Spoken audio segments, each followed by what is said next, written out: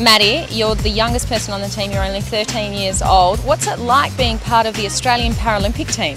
It's been really good. It's just that I've always had a dream to get to London and I just wanted to go to London for a holiday as well. So this year's the year that I got to the Paralympics.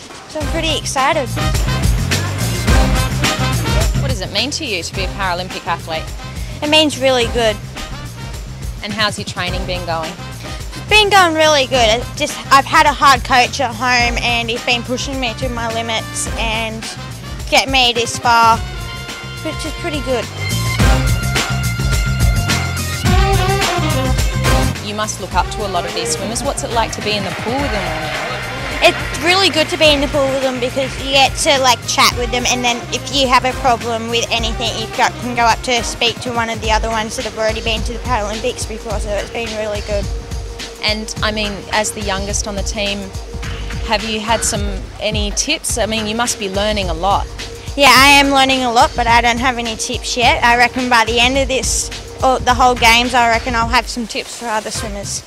What's the biggest thing you've learned so far, just in general, being on this tour? Just not eat too much food.